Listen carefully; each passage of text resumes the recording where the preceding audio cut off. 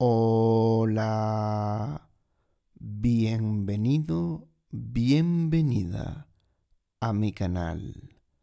Los routers de GL INET tienen una serie de características de seguridad que los hacen muy interesantes para el usuario doméstico.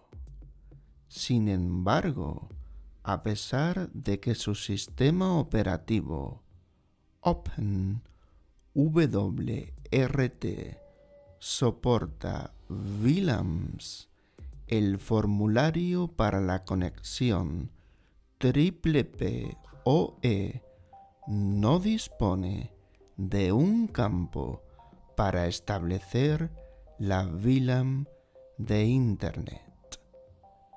Para aquellos que no lo saben, Movistar utiliza VLANs para segmentar el tráfico de red. Así que si no se establece un valor de 6 para la VLAN de Internet, la conexión no funciona.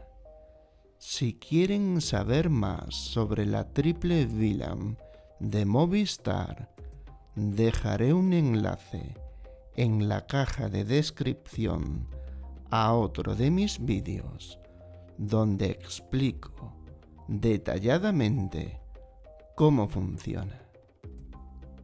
Antes de comenzar con la configuración, me gustaría invitarle a que se suscriba a mi canal me dé un like, comparta el contenido y active la campanilla de notificaciones.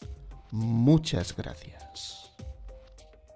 Para configurar la VLAN de Internet hay que acceder al router vía SSH y editar un fichero de configuración llamado network ubicado en barra etc barra config.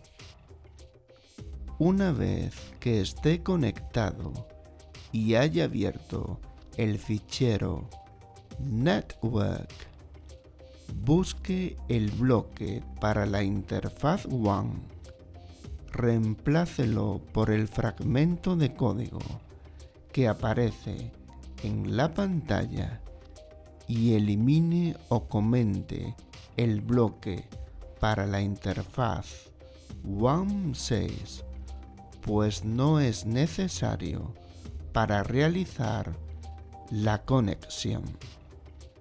Si su proveedor de Internet no es Movistar, entonces sustituya 0.6 por el valor correspondiente a la VLAN de Internet de su proveedor. Por ejemplo, para Digi no es 0.6, sino 0.24, porque esta compañía usa la VLAN 24 para los datos de Internet. En resumen, seleccione triple PoE como protocolo para la interfaz WAN en el panel de administración. Introduzca su nombre de usuario y contraseña pulse el botón Aplicar y luego acceda al router vía SSH para editar el fichero Network como se indica en este vídeo. Una vez que haya terminado, recuerde guardar los cambios y reiniciar el router con el comando reboot para empezar a trabajar con la nueva configuración. Listo. ¿Le gustó el vídeo? Genial. En mi canal puede encontrar muchos más sobre esta temática. Por favor, entre, eche un vistazo y suscríbase. Muchas gracias.